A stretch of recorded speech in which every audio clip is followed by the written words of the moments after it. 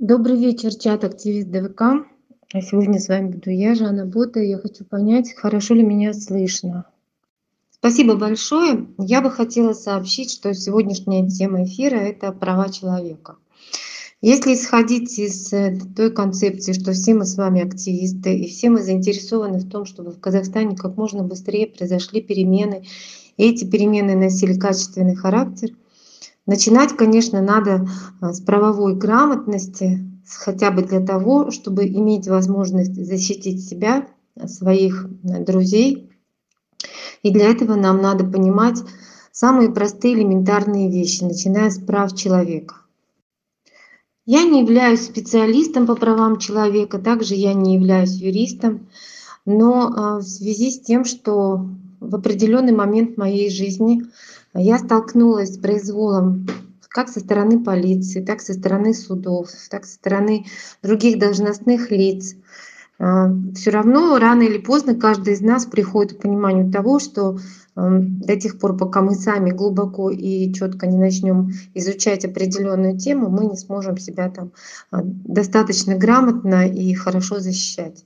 И вот мне тоже в какой-то момент жизни понадобилось изучать законы, права людей, для того, чтобы понимать, насколько обосновано то, что я делаю, насколько обоснованы мои требования, на что я могу рассчитывать.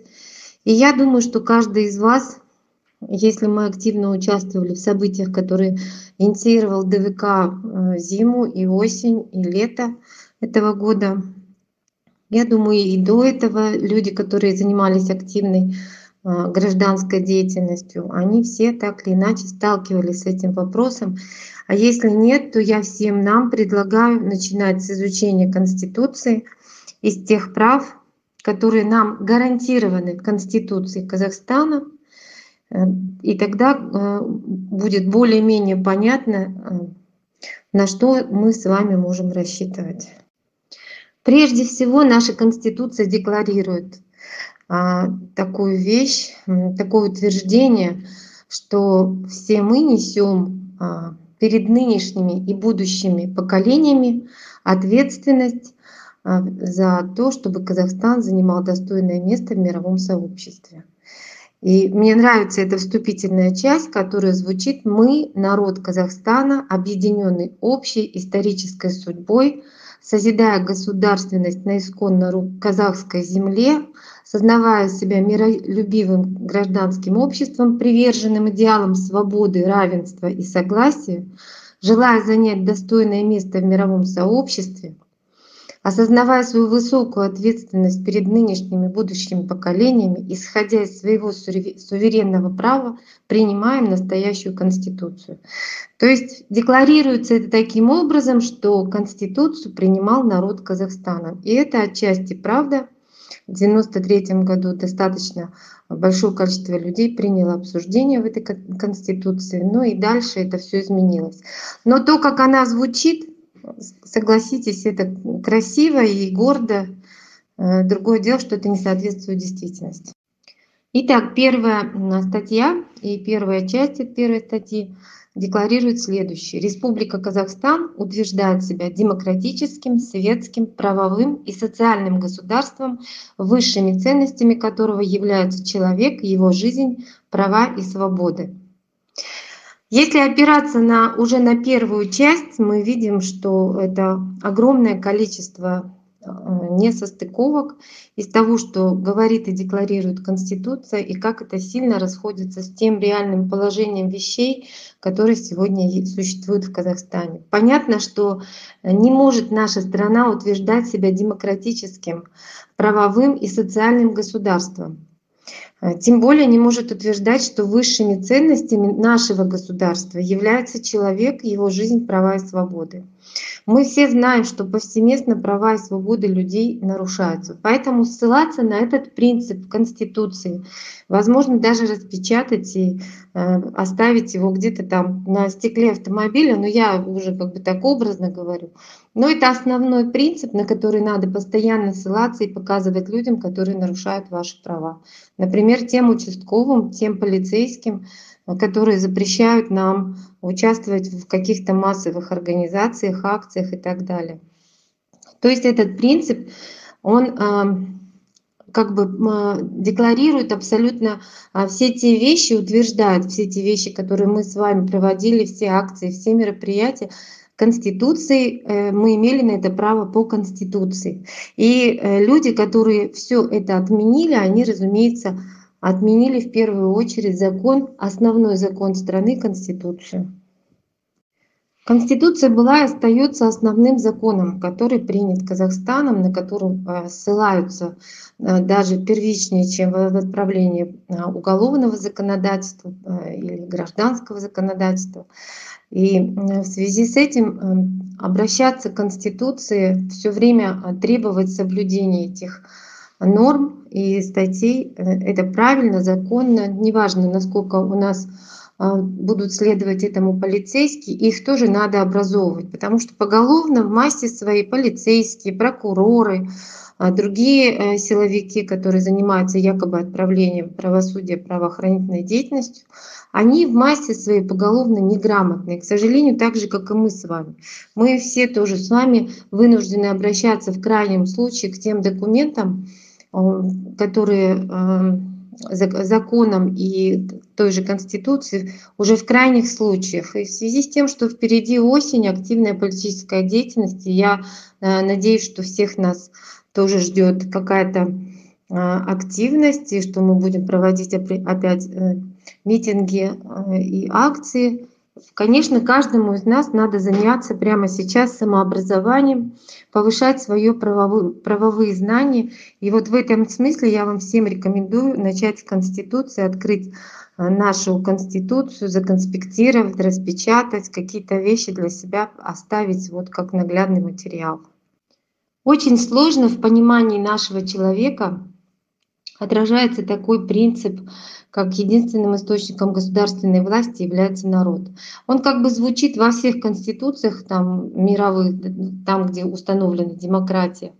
И у нас тоже в нашей Конституции, в статье 3, первой части, это тоже принцип задекларировано, что источником государственной власти является народ Казахстана. Но мы э, не являемся на самом деле таким источником. Все прекрасно понимают, что Э, проявлять наши гражданские права государство нам не позволяет, нас преследуют по разным причинам и ссылаются на всевозможные подзаконные акты, которые на самом деле на фоне Конституции являются незаконными, и их э, нельзя считать, эм, их нельзя применять в отношении политической активности, гражданской активности людей. Тем не менее, оставаться а, активными гражданами, тем не менее влиять на государство все равно нужно и можно даже в каких-то маленьких вещах. То есть вот, когда мы хотим действительно показывать, что мы являемся гражданами нашей страны, так или иначе надо все равно проявлять какую-то общественную активность, вести какую-то маленькую хотя бы общественную деятельность и шаг за шагом вынуждать государство признавать нас как тот самый источник государственной власти. Я приведу пример, как это работает здесь в Украине. А, сейчас Украина а, перешла к такой модели, называется децентрализация экономики, когда а, все государственные бюджеты распределяются по регионам, и все, что, допустим, в регионе добыто, остается там, и какой-то там процент распределяется в центр, но основная часть остается в том регионе, который заработал эти деньги. И распределением э, этих э, бюджетов занимается сам народ, причем занимается вот активно на местах. Вот, например, я живу в Софийской Борщеговке, недалеко от Киева, э, такой Э, пригородный э, центр. И у нас есть, например, сайт, на который может зайти любой житель, зарегистрироваться. Ну, ко мне это не относится, я не являюсь гражданином Украины. Вот. Но любой гражданин Украины может зайти на этот сайт и посмотреть, как местные власти будут распределять бюджет а, района, который им выделен. Какой бюджет вообще выделен, на что он пойдет. Вот я, например, Э, вижу такие расходы, как элементарно, да, там э, обновить дорожки а, к школам, да, то есть вот а, существуют школьные какие-то а, такие вот пешеходные дорожки, существуют специальные тротуары, которые ведут к школам. Все это обновляется, рисуются пешеходные знаки, восстанавливаются какие-то там дорожные покрытия. И вот э, таких примеров множество, да, там либо какое-то идет распределение на медицинский бюджет, либо идет какое-то распределение на строительство детских площадок. То есть во всем этом принимают люди участие. Каким образом? Они сообщают, что вот, допустим, в таком-то районе там-то, там-то требуется это сделать или еще где-то что-то. Это все э, потом обсуждается, причем собираются собрания даже не только вот онлайн, а собирают их людей на собраниях живем, там они очень спорят, при, спорят довольно остро и принимают решение, как распределить бюджет где какие цветы посадить, где какие строительные работы провести и так далее.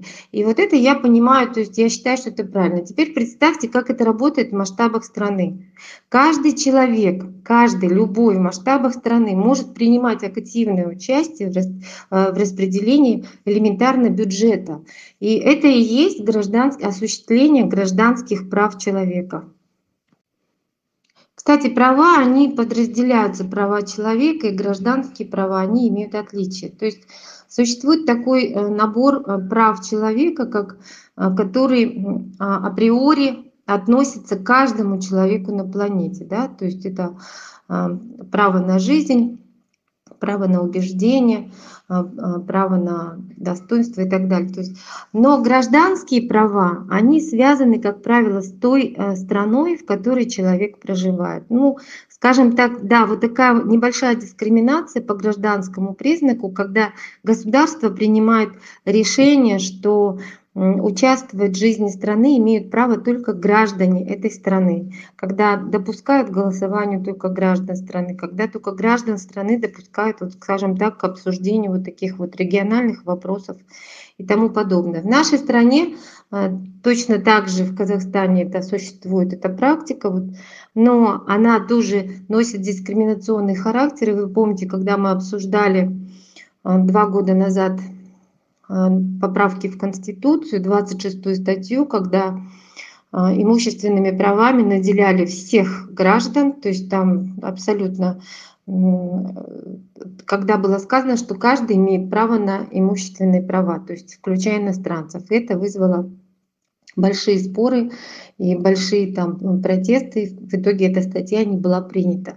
Вот так отличаются права граждан и права человека.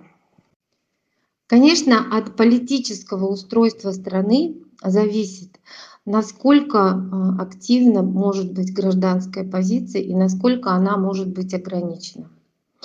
А, давайте вот начнем с, с таких вот далеких примеров, как права ребенка.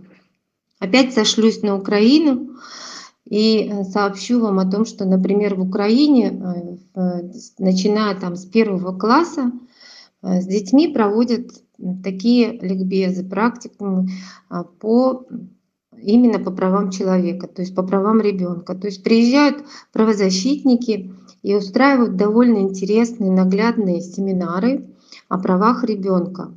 Они рассказывают ребенку о том, куда он может обратиться в случаях насилия. Они рассказывают детям, какие виды насилия существуют, что это бывают и психологические виды насилия, это бывают и физические виды насилия и что это могут быть дискриминационное насилие, какие виды дискриминации существуют.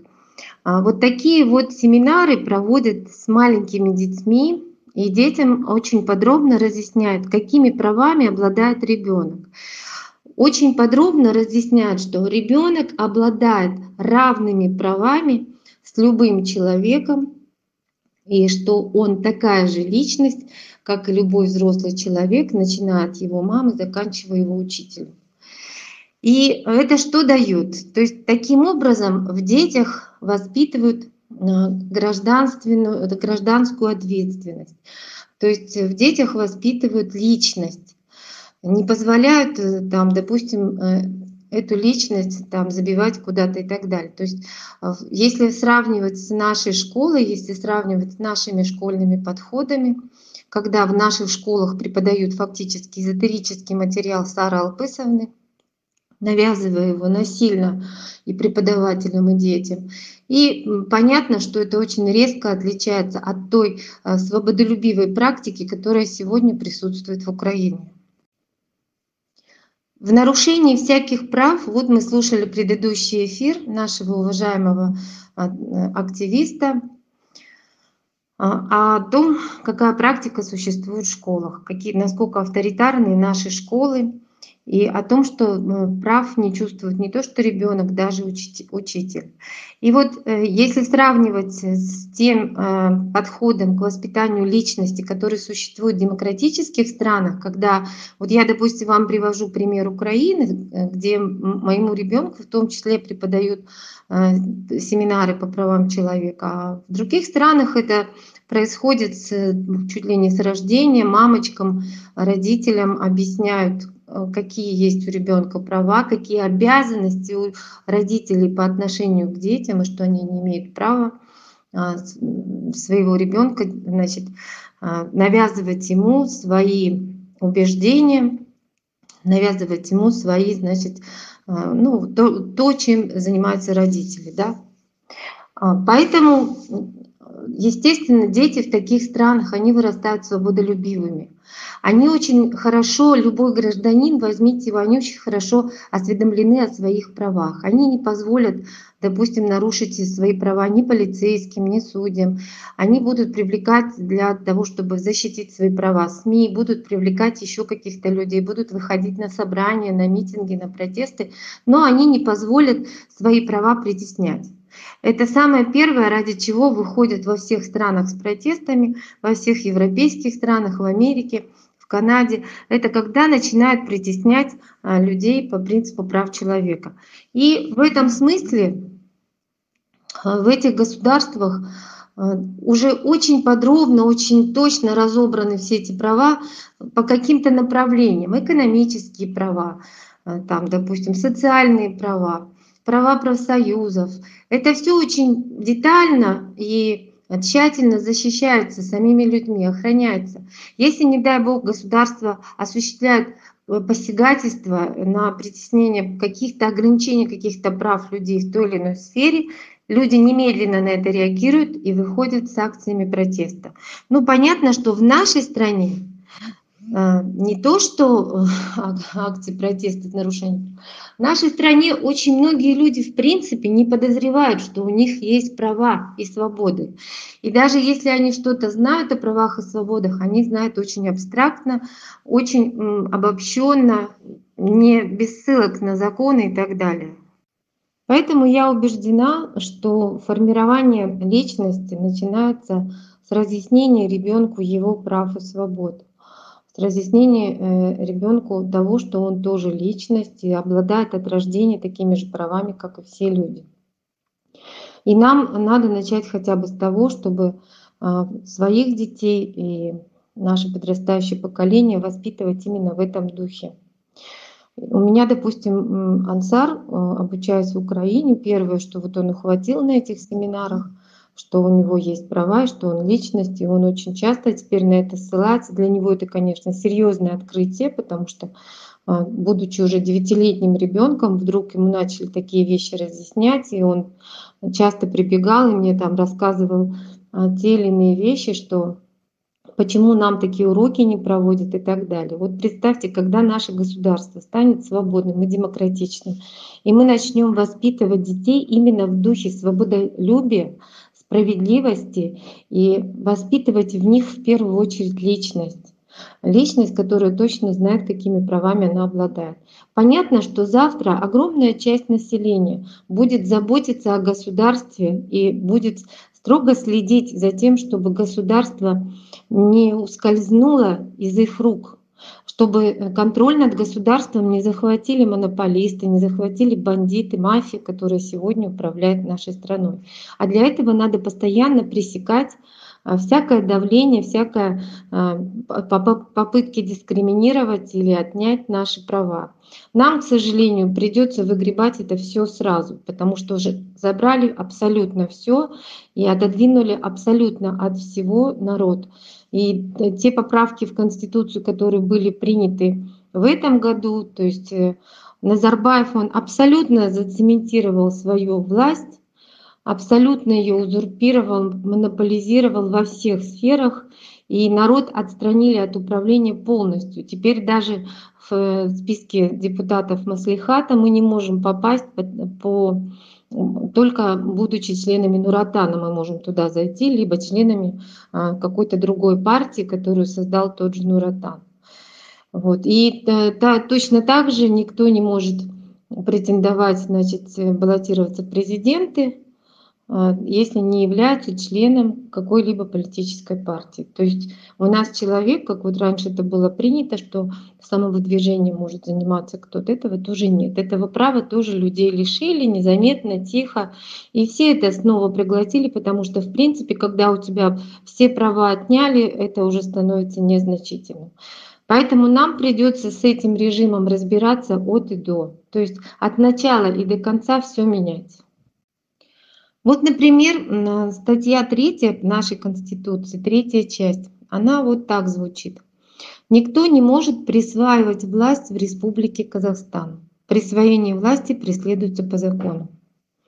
Понятно, что у нас власть присвоена и узурпирована Нурсултаном Назарбаевым, тем не менее на него этот раздел Конституции не распространяется. Напротив, он распространяется на нас с вами. Таким образом, они трактуют Конституцию, что а, просто ну, переворачивают и подменяют понятия. Вот там, я почему это говорю, потому что далее а, такой дискриминирующий э, следует текст. Право выступать от имени народа и государства принадлежит президенту, а также парламенту республики в пределах его конституционных полномочий. Ну вот представьте, что от имени народа имеет право выступать только президент. Понятно, что нас везде и всюду притесняют. Хотя в первой, э, чуть выше в этой же статье сказано, что единственным источником государственной власти является народ. И несмотря на то, что это декларируется, народ полностью отодвигают от возможности управлять э, какими-то государственными процессами.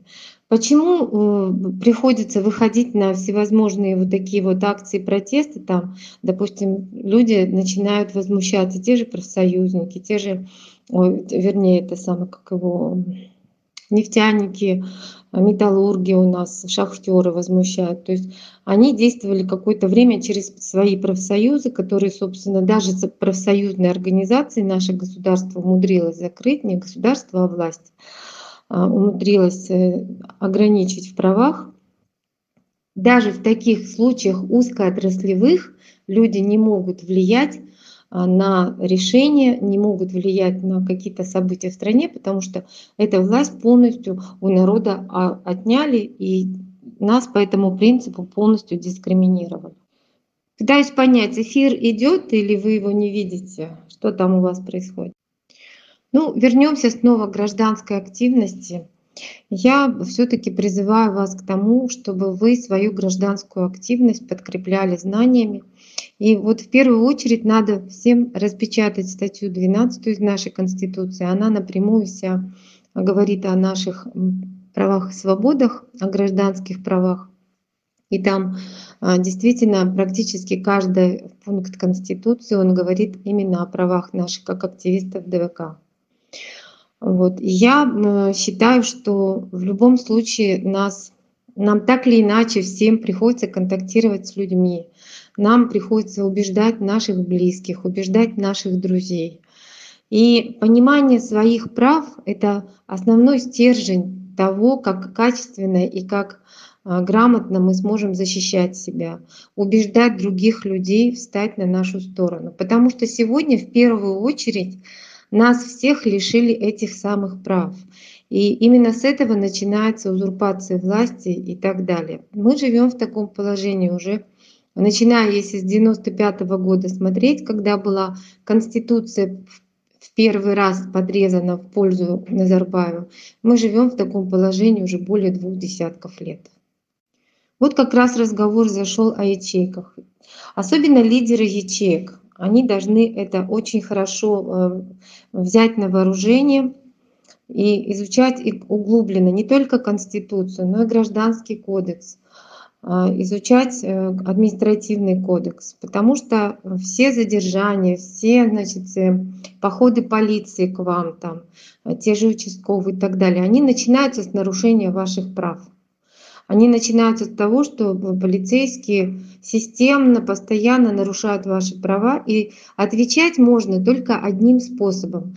Писать, писать и писать на них жалобы, подавать иски, подавать а, заявление в службу безопасности, подавать заявление в прокуратуры, подавать заявление в суды. Это все делать должны, э, мы должны делать это все на правовой основе. Но это невозможно будет сделать, если мы не будем понимать, что эти права нарушены. Начинать надо с того, чтобы знать, какими правами мы обладаем, чтобы завтра каждому из нас было видно, что эти права были нарушены. Вот, например, смотрите, статья 18. А, такой важный пункт номер два, который системно и массово был нарушен в отношении членов ДВК.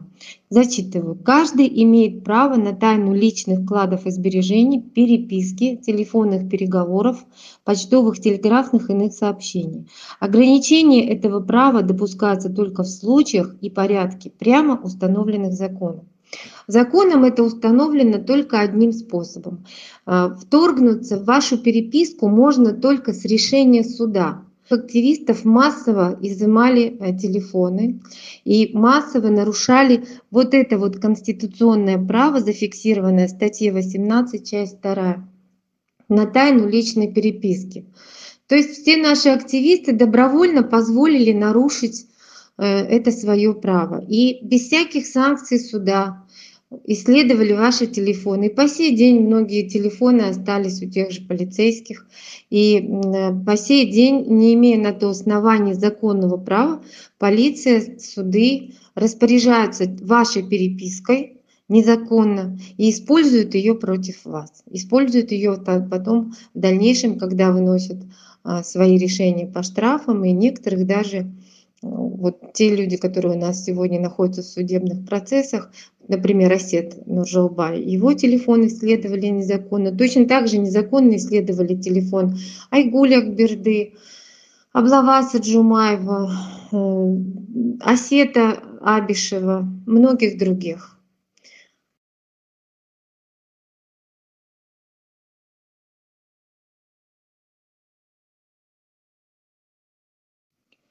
Ну вот очень хорошо, что кидают ссылки на Конституцию, и что вы можете эти вещи уже сейчас скопировать и сохранить у себя даже. Постарайтесь это распечатать, чтобы это было наглядно, э, лежало дома. И в случае, если э, кто-то из э, представителей правоохранительных органов будет посягать на ваши права, вы сможете зачитать как раз-таки Конституцию. Но это, этого недостаточно, нужно изучать административный кодекс, нужно изучать а, кодекс э, гражданский, уголовный, подковывать себя со всех сторон. Кроме того, я считаю, что нам было бы всем полезно изучать, а, что такое общественная деятельность и принципы работы общественных организаций.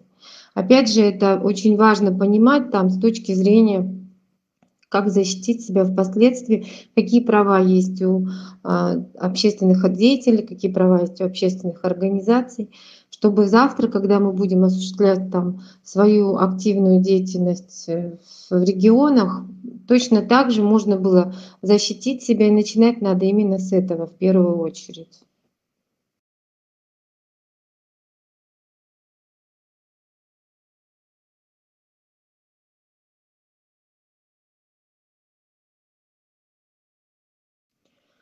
Я отвечаю вот на вопрос Конан Казах. А, дело в том, что да, действительно, власти вот э, определили это законом и так далее. Но я хочу сказать, что у нас было много дурацких законов, которые, собственно, они потом не могут реализовать, потому что у них для этого физически не хватает ресурсов. У них для этого нет ни технических ресурсов, ни физических. И какие-то подобные уже внедрялись законы. И вот пойти и сделать вот это вот сейчас, значит, свои email-коды передать для регистрации, это все равно, что донести на самого себя. Я уверена, что никто в Казахстане этим заниматься не будет, только нуратановцы, возможно, это сделают, потому что у них это наверняка сделают принудительно через их общественные организации. А люди здравомыслящие не пойдут и не предоставят свои данные добровольно вот этому Министерству правды, которое требует, чтобы у них было больше удобств следить за гражданами. Это тоже нарушение конституционных прав на самом деле на свободу э, и тайну неприкосновенность частной жизни. Да? Я тоже э, я считаю, что такие вот неконституционные меры люди имеют право обсуждать, протестовать против этого. Но опять в нашем обществе такой практики нет, потому что всех преследуют жестко. И опять в очередной раз народ промолчит, естественно, власть в очередной раз залезет на голову. То есть вот сегодня еще какую-то позицию мы сдадим в этой части, завтра еще какую-то, послезавтра еще какую-то. Ну и вот этот железный занавес и возврат тоталитарной э, системе, он осуществляется на глазах ежедневным огромными шагами.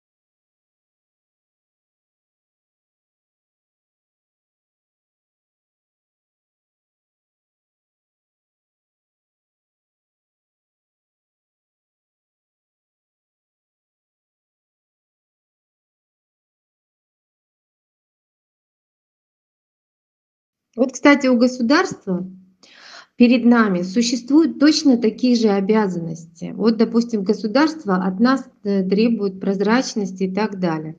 На самом деле Конституцией определено такое вот государственные органы, общественные объединения, должностные лица и средства массовой информации обязаны обеспечить каждому гражданину возможность ознакомиться с затрагивающими его права и интересы документами, решениями и источниками информации. Так вот, любой интересующий нас актуальный вопрос, вот, допустим, принято какое-то неконституционное антинародное решение, очередное. Любой из нас может э, требовать эту информацию, первоисточник, на чем строилась, либо вмешиваться а, в процессе проекта, проектирования закона и требовать этой информации повсеместно в отношении абсолютно любых э, направлений. Там, допустим, по безработице, там, по зарплатам, по уровню там, заболеваемости СПИДом или еще что-то. Любой актуальный, там, интересующий вас вопрос государство обязано предоставить доступ к информации и проинформировать. Для этого элементарно надо начинать хотя бы с ЕГОВ. То есть если вы регистрируетесь ЕГОВ, берете там а, регистрируете свою подпись и действуете через этот орган прозрачно, делаете запросы в те или иные структуры государственные, вам обязаны ответить. Например, комитет по статистике, комитет МВД, тот же а, Абаев, он тоже должен отвечать на все наши интересующие вас вопросы. Вот, допустим, вы они сейчас требуют, чтобы мы дали имей-коды. Соответственно, мы можем массово писать запросы и спрашивать у Абаева, каким образом он защитит наше право на прикосновенность, которое гарантировано нам Конституцией, вот статьи 18 второй части. Вот, пожалуйста, это инструмент работы с властями. Мы этими инструментами не пользуемся. Это вот наша правовая глухая вот э, безграмотность. Поэтому мы этими инструментами не пользуемся и позволяем таким, как Абаев, залезть нам на голову. Но мы можем это начать делать прямо сейчас. Или вот, например, есть такая статья номер 23, вторая часть. Где говорится, что военнослужащие, работники органов национальной безопасности, правоохранительных органов, судьи не должны состоять в партиях, профессиональных союзах, выступать в поддержку какой-либо политической партии. Давайте пройдемся по всем этим людям. А, по представителям судейского корпуса, по представителям правоохранительных органов и так далее. Все эти люди на 100% нуратановцы. И более того, э, вот эта партия политическая Нуратан, она повсеместно нарушает Конституцию, потому что на самом деле людей э, в Нуратан принимают принудительно, э, целыми там государственными структурами, блоками целыми. И мы все прекрасно знаем, что у них существует система взносов принудительных и так далее. И вся вот эта раздутая их, а их сегодня уже миллион человек, вся эта их раздутая структура только благодаря тому, что в Нуратан людей загоняют принудительно, как скот. Такие вещи тоже можно исследовать, э, делать предметом, скажем так, возмущения, э, там, писать какие-то э, обращения, исследовать цифры, статистику и потом заниматься, допустим, тем, что освещать это где-то в социальных сетях и показывать, как нарушаются конституционные требования. И нарушаются они в первую очередь нуратановцами, правящей партией. Я больше чем уверена, вы сможете найти очень много а, тому примеров.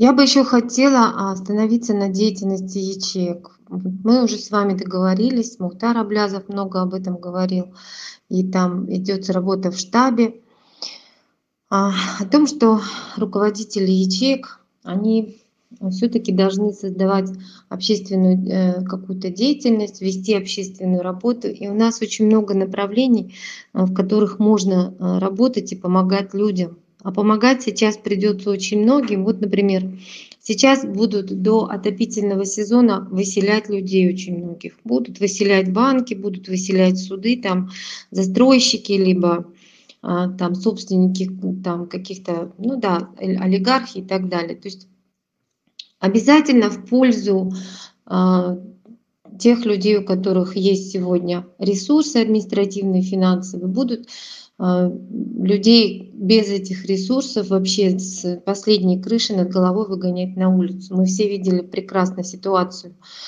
последний раз, вот, которую транслировали в Фейсбуке, что женщину выселили из дачного участка и разломали ее дом, не дав ей собрать вещи, хотя это было единственное их жилье. И точно так же а, застрелился хозяин кафе а, придорожного, когда сносили его кафе. То есть это в этом кафе жила вся его семья, то есть это единственное, что было у людей из имущества. И это все сносили вот таким жестоким способом, неправомерным. И это будет и будет происходить. Вот я предлагаю изучить обязательно, опять же, статьи Конституции, другие кодексы, другие а, значит, законные акты и э, помогать людям хотя бы вот в этом направлении, потому что сегодня это самый злободневный вопрос, и один из самых болезненных вопросов, он касается самых незащищенных э, наших слоев общества, когда в основном это люди э, бедные, люди, у которых нет достаточных доходов, чтобы просто прокормиться, не говоря уже о том, что им негде будет теперь жить. И вот надо исследовать эти вещи, например, понимать, Куда одеваются люди, которых выселили? Надо исследовать статистику выселения, например. Исследовать ее, исходя из позиции э, статьи 25 Конституции, первой части, когда говорится, что жилище неприкосновенно. То есть не допускается лишение жилища, тем более а вот сейчас вот э, когда это происходит массово, это давно уже происходит, и есть очень много организаций в Казахстане, которые занимались и проблемами ипотечников, и дольщиков, и застройщиков и так далее. Я считаю, что в этом смысле общественную деятельность вот в этом направлении вести тоже очень важно, потому что там очень много активных людей, людей, которые действительно уже э, от властей, от наших, действительно насмотрелись всего самого плохого, и вот в, в той части находить э, сподвижников, соратников, единомышленников будет гораздо проще, помогая им, помогая реально. И вот здесь я вас тоже хочу призвать, чтобы вот в этом направлении активисты начали какую-то свою деятельность, присылали нам свои э, материалы, возможно, есть видеоматериалы, возможно, есть какие-то э, интервью и так далее. Тем более, что вы знаете, что у ДВК есть программа, которая направлена на ипотечников, а, которая направлена на списание кредитов и так далее.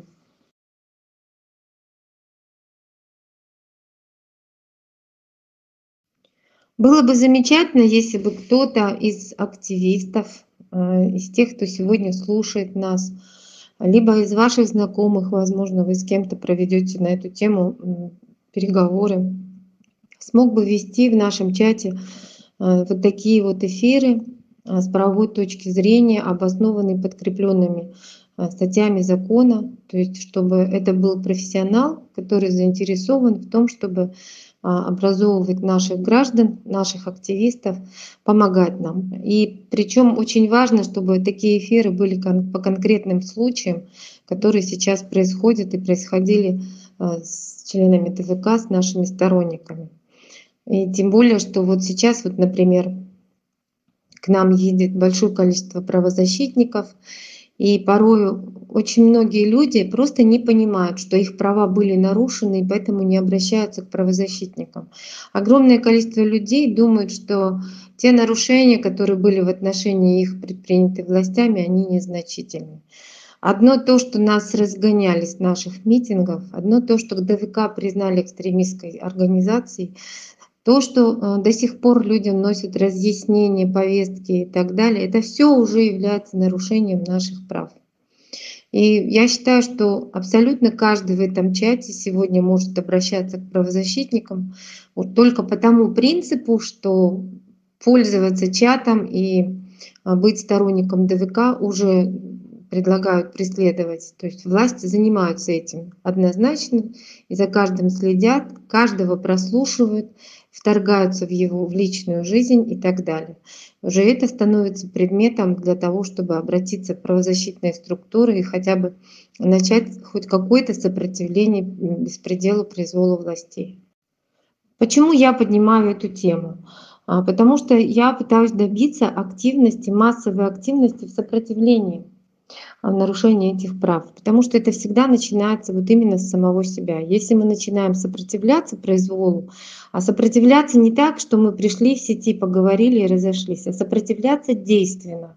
А, писать заявление, обращаться в прокуратуру, обращаться в суды, обращаться в службы собственной безопасности, требовать, требовать и требовать соблюдения ваших прав. Вот с этого и начинается вот все это а, сопротивление. И таким образом мы можем массово, вот воздействуя на власть такими вещами, массово воздействуя, мы можем добиться какого-то успеха. Потому что никому не нравится. Видите, когда дело касается отдельно взятого какого-нибудь полковника или майора полиции, да, который э, превышает ваши права, на улице гоняется за вами и так далее. Это одно. Когда дело касается системы в целом, это другое. Так вот, их бить надо персонально. Персонально каждого участкового, каждого полицейского, который вызывает вас на допрос, допустим, к 6 часам вечера, э, когда, когда заканчивается рабочий э, день, и этот день регламентирован трудовым законодательством страны. Если на такие вещи не обращать внимания, да, что вас в пятницу вечером приглашают на э, беседу без повестки и без ничего, то они действительно будут и будут залезать к нам на шею. А когда вы каждый на своем месте оказываете сопротивление в правовой сфере, грамотно и последовательно, персонально бьете каждого из тех, кто нарушает ваши права. Тогда с этого начнется, с этого и начинаются перемены, как правило. Это и будет толчок.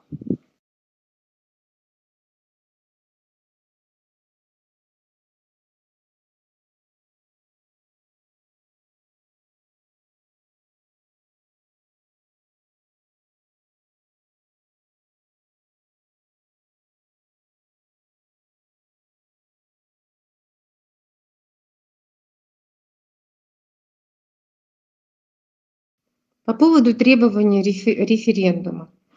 Да, за нами закреплено конституционное право на участие в референдуме, а, на то, чтобы принимать участие там, в жизни, в решениях, важных решениях жизни страны через такой конституционный инструмент, как референдум. Но такое возможно только в правовом государстве. Вы прекрасно знаете, что наше государство лживое, что ни разу в стране выборы не проводились честно, ни один референдум не проводился честно. И сейчас требовать референдума, и потом, значит, власть проведет нечестные результаты, покажет и так далее. И в дальнейшем будут размахивать этим референдумом как тряпкой, говорить, это решение было народное. Мы провели народный референдум, и народ принял решение. Нам же этот референдум как бы и вылезет боком. Такие вещи хороши там, где существует уже а, правовые принципы работают и где законность одинакова для всех.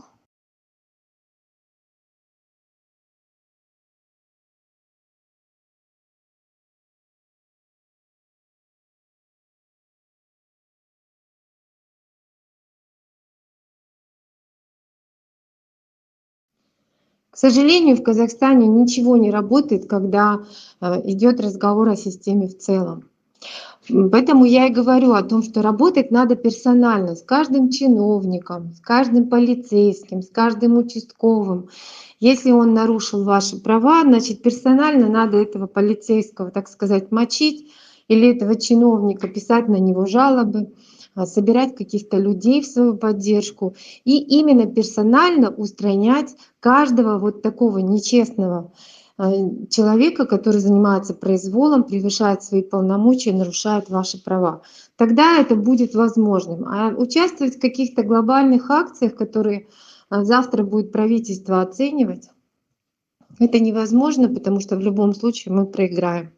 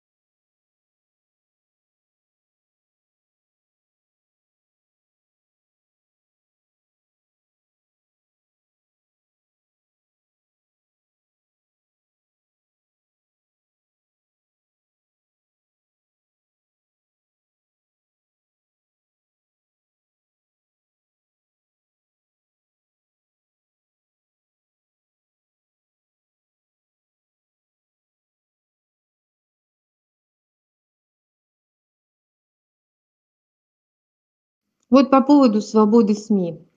Человек говорит о том, что был заблокирован на территории Казахстана сайт петиции по сбору подписей за импичмент президента.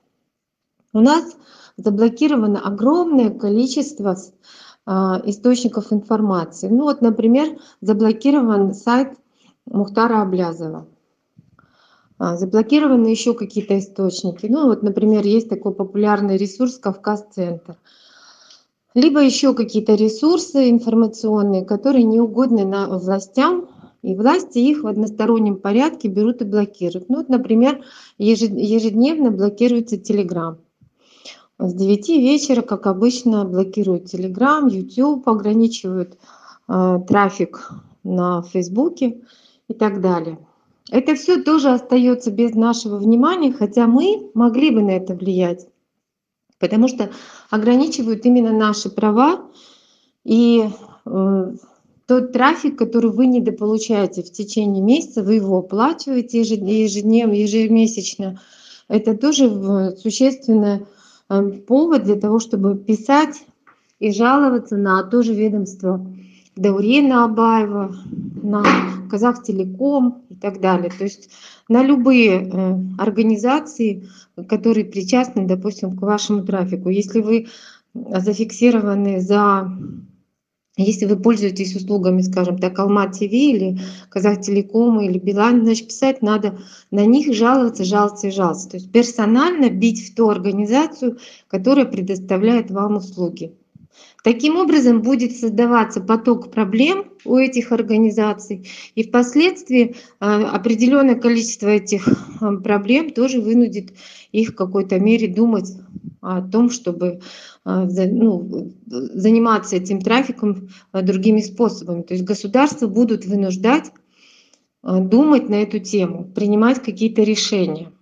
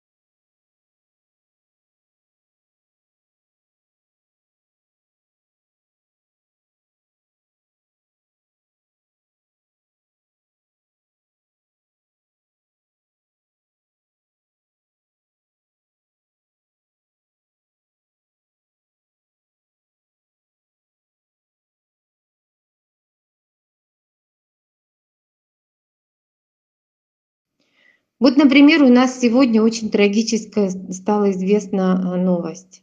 Наш друг а, Мурат Тунгишпаев, журналист, а, потерял зрение на левом глазе. Он потерял зрение, потому что наши правоохранительные органы допустили в отношении него пытки. Не оказание медицинской помощи – это и есть пытки был допущен правовой произвол. Человека держат с 10 мая под э, арестом. Тунгишпаев ослеп на один глаз. Очень стремительно произойдет слепота второго глаза. Это неизбежно, это констатируют следователи. Я постараюсь вам найти. Я прошу администраторов найти пост адвоката Мурата Тунгишпаева. Его зовут Мухтар Туриханов. А, и э, там есть фамилия следователя, который ведет его дело. Соответственно, все мы можем э, жаловаться на действия следователя и требовать освобождения Мурата. Тем более, что за все это время не было произведено никаких следственных мероприятий, он даже не был допрошен. То есть следователь сидит и, наверное, ищет способы сфабриковать на него какое-то обвинение, Статья 405, по которой обвиняют Мурата, она допускает домашний арест. В домашних условиях ему могли бы спасти глаз, могли бы спасти зрение. Но этого не допустили, в результате Мурат слепнет. Если сейчас мы срочно не начнем требовать освобождения Мурата, но требовать его надо именно вот таким способом, грамотно обращаясь к тому следователю, обращаясь в прокуратуру города, обращаясь там к тому же Жак, э, Жакипу Асанову, к тем, кто декларирует, что у нас есть права, что судейский корпус, он стал гуманнее и так далее. То есть вот эти вот все вещи надо писать, писать и писать. Тогда, возможно, мы спасем ему зрение. Возможно, мы сможем помочь ему восстановиться в зрении. И это очень тяжелый и печальный э, результат, и результат бездействия, естественно, правоохранительных органов и того, что мы с вами тоже допустили этот момент. Ну да, как-то действительно не очень хорошее слово мочить, да, я как Путин практически, мочить в сортирах использовала не совсем хорошее слово революционеру. Приношу извинения, ну так вырвалось, видимо, уже очень хочется их мочить. Другого слова нет. Ну и, кстати, это одно из требований, одно из гарантированных Конституцией наших прав. То есть каждый из нас имеет право на работу, на социальную поддержку, если этой работы нет, и на достойную оплату труда. В Конституции тоже есть такая глава, есть такая часть, и государство, понятно, с этим тоже не справляется, власть не справляется с этим. Точно так же, как каждому из нас гарантировано право на жилье, и такие условия, при которых по приобретению жилья возможно, это тоже то, с чем не справляется государство. В итоге огромное количество людей прозябает без работы, без крыши над головой и вынуждено огромную львиную долю своих доходов тратить на оплату арендного жилья, либо на оплату кредитов. И э, что самое отвратительное, самое печальное, что 3 триллиона только за этот год было залито в наши банки, э, причем для поддержки, для оздоровления э, банковского климата. И понятно, что эти деньги брались из государственных фондов, в которые э, годами накапливали деньги граждане Казахстана. Вот это и есть вот самое, что и на есть бандитизм, мафиозная структура, грабеж, когда простого человека вынуждают стрелять себе в голову, потому что ему негде жить, а банковскую систему поддерживают тремя триллионами тенге и называют это оздоровлением. Вот это и есть э, та самая циничная, наглая э, система правления Назарбаева, которую он установил, когда все в пользу его кармана, все в пользу его кошельков, и все только так, чтобы гражданин обычный не мог головы оторвать от земли и занимался только поисками куска хлеба. Не мог думать ни о политике, ни о культуре, ни о развитии своей личности, а мог думать только о том, где взять этот кусок хлеба.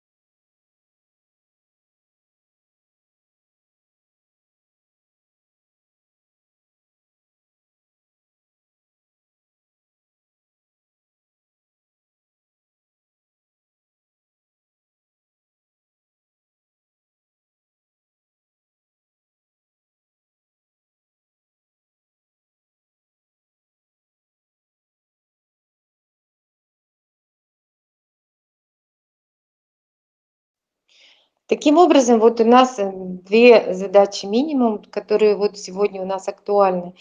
Это, во-первых, мы продолжаем акцию за освобождение Мухтара Джакишева, и сейчас нам срочно нужно а, проводить акцию и принимать все меры для того, чтобы власть освободила Мурата Тунгишпаева. Поэтому я прошу вас начать практиковать вот эти способы, э, писать жалобы, возможно, даже объединяться, писать коллективные заявки.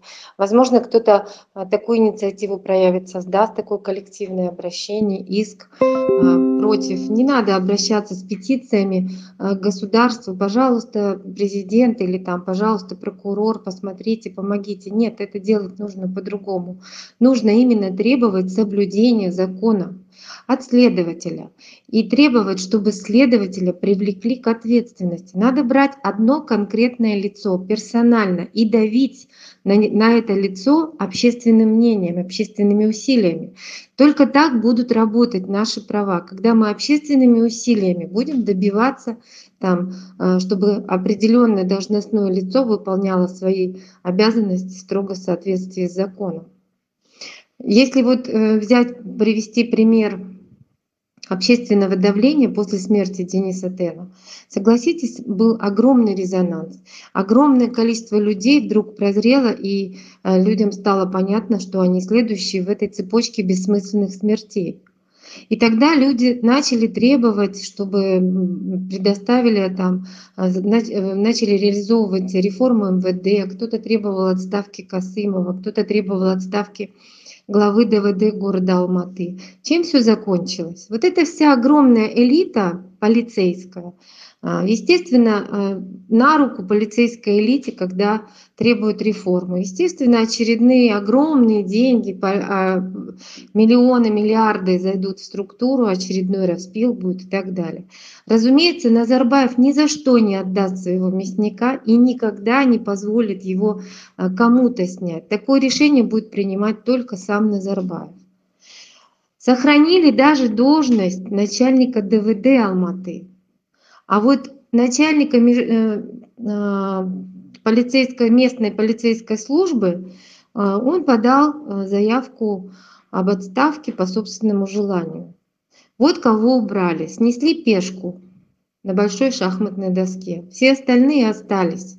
Но наша задача хотя бы пешек сносить, когда это касается общественного дела. Поэтому я предлагаю все-таки давить на следователя, давить общественно организованными какими-то заявлениями, а, потому что на сегодняшний день человек лишен зрения.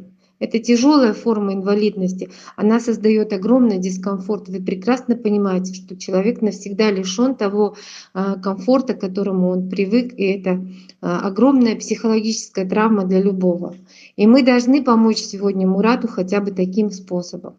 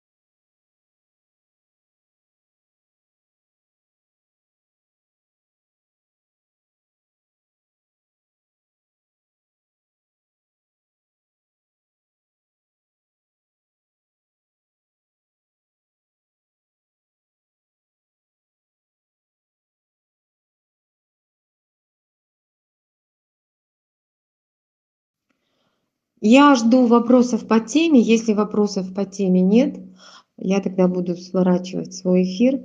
Конечно, было очень мало сказано относительно а, тех прав и свобод, которые существуют у нас с вами.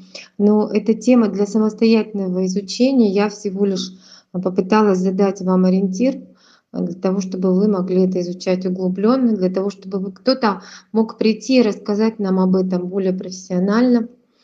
И кто-то, возможно, бы там проявил какие-то инициативы и начал действовать в рамках вот того, что мы сегодня а, с вами обсуждали. И поэтому я э, думаю, что на этом эфир сегодняшний окончен. Подожду еще вопросов.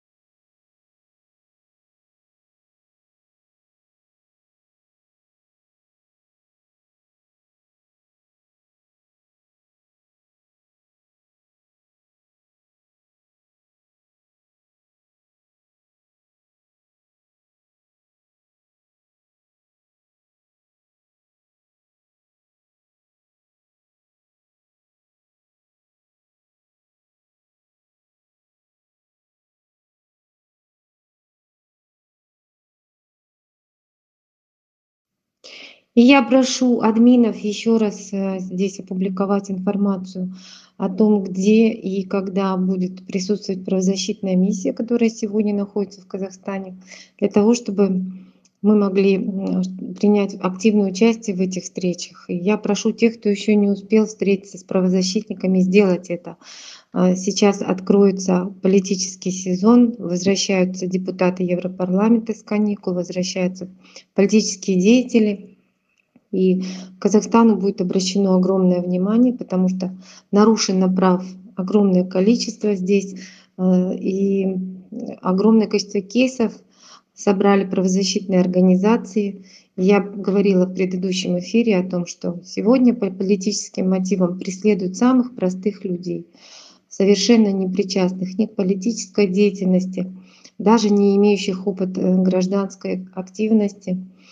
И таких людей сегодня держат в тюрьмах. Поэтому, конечно, Казахстан сегодня будет под пристальным вниманием с учетом того, что они подписали соглашение с Европарламентом, э, с, Евро, с Евросоюзом, и Назарбаев ждет сегодня активных инвестиций, активного партнерского участия со стороны Европейского Союза. И мы специально собираем всю эту информацию для того, чтобы правозащитные деятели э, со, со, всего, со всей Европы, со всего мира могли оказать давление на наш режим, и требовать соблюдения прав человека, прав и свобод, чтобы, требовать, чтобы мы могли требовать освобождения Джакишева, остальных политических заключенных. Это все будет иметь место, и это все будет иметь место в ближайшее время. И поэтому наша с вами, с вами активность, это будет вклад в, тот, в те самые резолюции и решения, которые начнет принимать Европарламент в пользу народа Казахстана. Поэтому я вас еще раз прошу активнее сотрудничать с правозащитниками, которые сегодня приехали в Казахстан. Большое спасибо за внимание. Услышимся в следующий раз обязательно.